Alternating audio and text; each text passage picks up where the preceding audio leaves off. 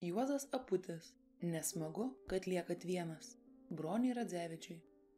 Už nugaros liko visi, saulės nušviesta, tačiau jau blėstanti dangaus kiautė, kurią matydavo veidrodyje, kai pakildavo į kokį kalnelį. Jis siaurėja labai greitai, jis pagalvojo, kad panašiai siaurėdama išnyksta juosta televizoriaus ekrane, kai nuspaudė mygtuką. Kartu su besibaigiančiu, rausvai geltonu dangaus ruožu už nugaros, už sunkių mašinų ratų ėmė liktis visa praėjusi diena, pilna žodžių ir žmonių. Priekyje artėjo miškas, kurį jau ryškiai išklojo ateinančio vakaro sparnas, įstrižai kertamas šalto lietaus lašų. Priešais atlėkiantys sunkvežimiai jau turėjo užsidegti šviesas, pasitikdami jį mirkčiojo. Šviesos žibėjo bailiai, negalėdamas įsiplieksti, nes to daryti dar neleido bebaigianti aušti diena. Pradėjo taip smarkiai lyti, nematė, kad už miško slinko didelis juodas debesis. Rodos ėmė kasmėtyti akmenis į sulankstytą sunkvežimio kabinos stogą. Guduma, nejauki guduma. Kai įlėkė į aukštą eglyną, žibintų išplėštos eglių šakos atrodė panašios į žalius varvančius skarmalus. Galėjai net matyti, kaip nuo eglių spiglių vanduo teka žemėn. Kai vienas iki sukosėjo motoras, jis krūptelėjo.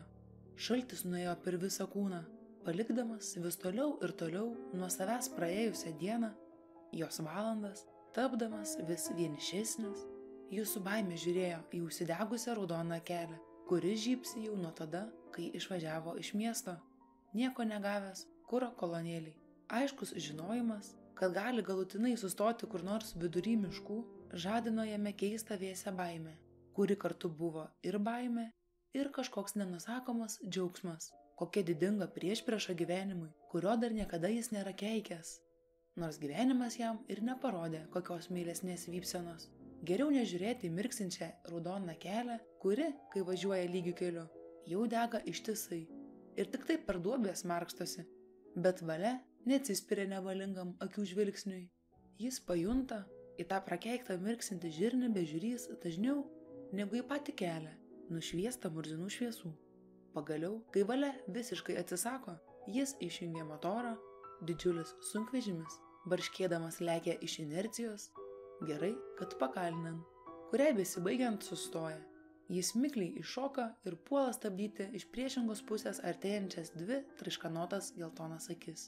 Sustojo ražydamas žmogų savo nešvariais spinduliais. Reikėjo eiti prie to spurdančio, bet dar nematomo padaro, kuriame sėdėjo žmogus.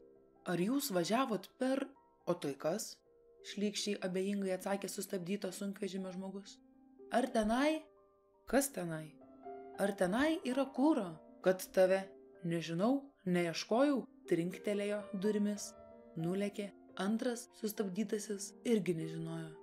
Trečio nebestabdė, nes jau susivokė, kas iš to, kad sužinos, važiuoti jam būtinai reikia.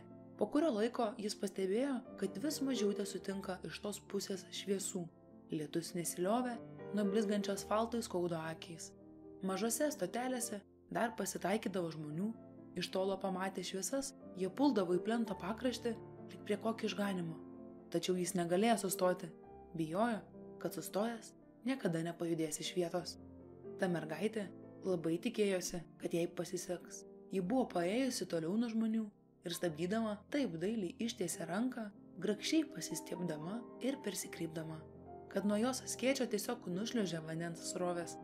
Kai lėkė pro šalį, jis pamatė, koks įžeistas jos veidas, tik užšaldytas padaras negalėjo suprasti, kad pavežama prašėsi jį viso pasaulio moteriškoji giminė. Lik bjaurybė gazdinasi motoras, vis dažniau sukrūpčiodamas ir taip pat dažnai atsigaudamas.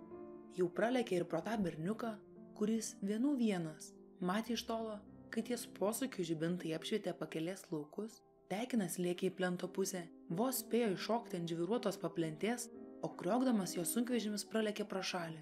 Šoninėme veidrodyje jis pastebėjo, kad berniukas liūdnas nunarino galvą, lydėdamas akimis jo sunkvežimi. Ir tada jis paspaudė stabdžius. Pats nežinojo, kodėl paspaudė. Vos neįvarydamas įsibėgusio sunkvežimio į grovį. Berniukas iš pradžių sukluso, paskui palinko į priekį ir puolė lik zuikis. Pirbėgęs, dusdamas, jis paklausė, ar jūs dėl manęs? O dėl ko dar? Ačiū. Vaiko balse jis išgirdo nuoskaudą. Motoras vėl kelis sikius sukosėjo. Berniukas neramus pažiūrėjo jam į veidą. Paskui nusėmė kepurę, ketino įsigręžti, bet nedryso. Šlapę pasidėjo ant kelio. Jis buvo visai nedidelis, jo šlapi plaukai šviesus. Išsigręžk. Ai, tiek tos. Jūs labai greitai važiuojat? Reikia. Motoras čiaudo. Baigėsi kuras, o tau ar toli? Nelabai, nuo čia penkiolika. Dabar bus gal dvylika. Kur skubi susivėlinės? Iš laidotuvių. Ką laidojot? Sesutė. Tavo? Pro motoro čiaudėjimą jis išgirdo savo balsą. Aha, ar didelė? Mažutukė, už mane per pus mažesnė. Sirgo. Oi, kiek ji prisisirgo ir numirė. Taip vienas ir grįžti? Aha, tėtis pasiliko pas mamą. O tu? A, matot, aš gyvenu su tėčiu, o mama atskirai. Onutė, sesutė irgi su mama gyveno. O kai grįši namo, tai vienas būsi. Berniukas linktelėjo galvą. Nebijosi? Hmm, šyptelėjo berniukas. Kogi, dar reikės gyvulius apeit? Berniukas suraukė kaktą, pasidėdamas kairę ranką savo ant kelio, šalia kepurės.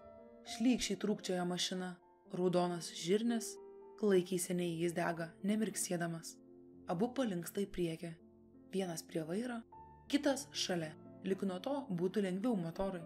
O jūs ar toli? Toli, toli, toli. Tai sustabdykit kokią pakeleivę mašiną ir gausit kūrą. Jis tyli. A, neturit pinigų, o be pinigų. Palaukit, tėtis davė. Nereikia, jis paglosto kiek apdžiūvusius berniuko plaukus. Berniukas vis taip pat rimtai suraukęs kaktą, žiūri pro šlapę stiklą. Kaip žinotės, lyg suaugęs, pasako jis ir daugiau nebekalba.